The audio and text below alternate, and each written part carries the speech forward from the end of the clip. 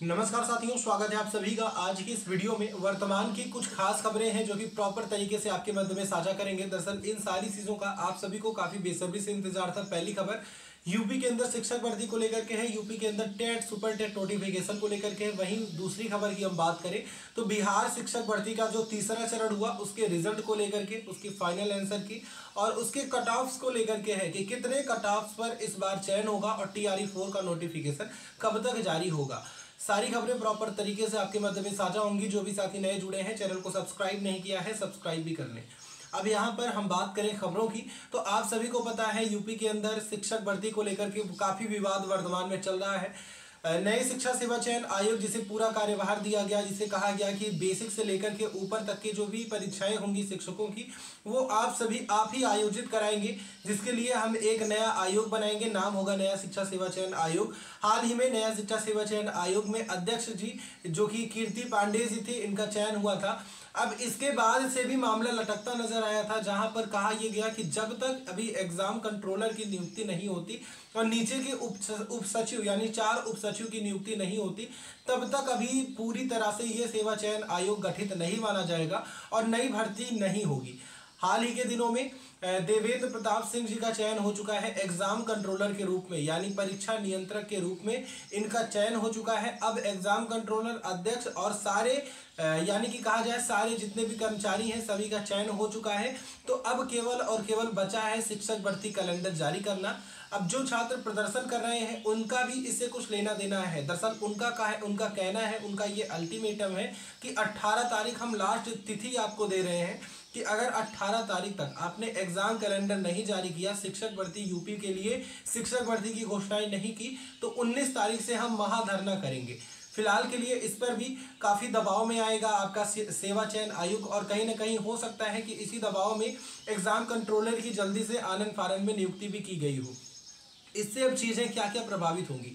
अब exam controller आ चुके हैं, अब अब पूरी तरह से गठन हो चुका है तो अब तैयारियाँ तेज होंगी पिछले एग्जामों को कराने के लिए और आगे के नोटिफिकेशन के लिए। पिछले एग्ज़ाम यानी यूपी के अंदर टीजीटी पीजीटी यूपी के यूपी टीजीटी पीजीटी वाला जो नोटिफिकेशन था, वो 2022 का ही था तो पहले वही एग्ज़ाम कंडक्ट होगा।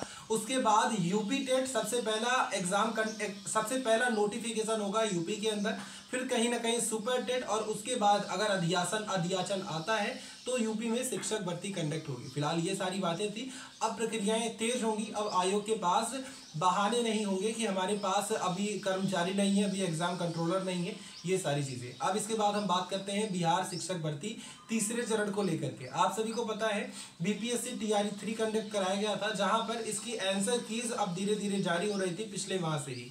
अब इसकी फाइनल आंसर की जारी कर दी गई है आपत्तियों के साथ में।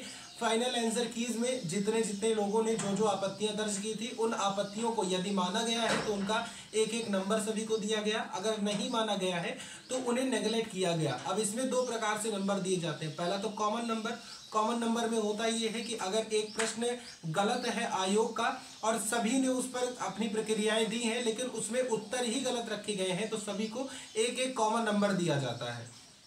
लेकिन इसमें होता क्या है कि सभी का नुकसान हो जाता है। जिन्होंने सही किया है, उनका भी, और जिन्होंने गलत किया, उनका बेनिफिट हो जाता है। तो इसको लेकर के इस बार प्रक्रियाएँ थोड़ी उल्टी की गई। कि इसमें आपका किया क्या गया कि एक अंक को, एक प्रश्न को ही हटा दिया गया। यानी डेढ़ सौ प्रश्न थे तो एक सौ उनचास प्रश्नों में से ही अब आपकी मेरिट को यहाँ पर तय किया जा रहा है। यानी एक प्रश्न वहाँ पर आपका डिलीटेड दिखेगा, अगर आपने उस पर आपत्तियाँ दर्ज की होंगी तो। तो इसमें काफ़ी छात्र कह रहे थे, एक सौ उनचास ही प्रश्न इसमें दिख रहे हैं, एक प्रश्न नहीं दिख रहा तो एक प्रश्न डिलीट किया गया कॉमन नंबर देने के बजाय में। ये भी ठीक प्रक्रिया थी। इससे भी किसी का नुकसान नहीं होने वाला। अब जो मेरिट बनेगी, वो एक सौ उनचास में से ही बनेगी। अब इसमें बात आती है कट ऑफ़ की। देखिए, इसमें काफ़ी छात्र कह रहे हैं, हमारे इतने नंबर हैं, क्या हम क्लियर कर देंगे? तो देखिए, इसमें पचास, पचपन, पैंसठ और सत्तर, पचहत्तर, इसके बीच में काफ़ी ज़्यादा कंफ्यूजन है। तो इसमें कट ऑफ़ की अगर हम बात करें, अगर आप जनरल के हैं मेल कैंडिडेट हैं, अभी कट ऑफ़ लिस्ट नहीं जारी हुई है, लेकिन मैं पर्सनल एनालिसिस से बता रहा हूँ कि अगर आप मेल कैंडिडेट हैं, पचहत्तर नंबर अगर आपका है तो आप अपने आप को पूरी तरह से एक सेफ़ स्कोर जोन में मान सकते हैं। अगर फीमेल कैंडिडेट है जनरल की तो आप सत्तर मान सकते हैं। अब इसी में आप दो तीन नंबर जैसे जैसे कैटेगरी वाइज जैसे अगर आप ओबीसी के हैं, इसी में दो तीन नंबर मेल वाले से अगर मेल है ओबीसी तो उसमें से कम कर दें। यानी टोटल मानकर चले। पैंसठ प्लस है तो ओबीसी वाले अपना क्लियर मानकर चले। और इसके नीचे नीचे अब पचास प्लस है तो एससी वाले अपना मानकर चले। वैसे पिछली बार अगर देखा गया था तो उनतालीस चालीस नंबर पे एससी का सिलेक्शन हुआ था। लेकिन यहाँ आंकड़ा थोड़ा कहा जाए मोटा मोटी आंकड़ा यहाँ पर लिया जा रहा है। तो यहाँ पे आप वही मानकर चले।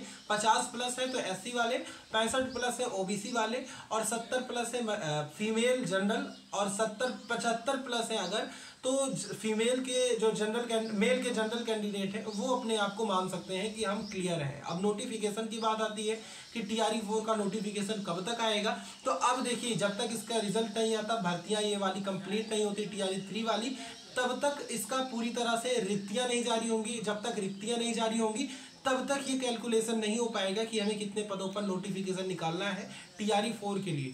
मैंने आपको कई बार बताया है, आप इस महीने का इस इस साल का एकदम लास्ट वाला मंथ मान कर चले, यानी दिसंबर आप मान कर चले टीआरई फोर के लिए। फ़िलहाल हाल फ़िलहाल की ये खबरें थी। मैंने सोचा प्रॉपरली आपके मध्य में साझा करें।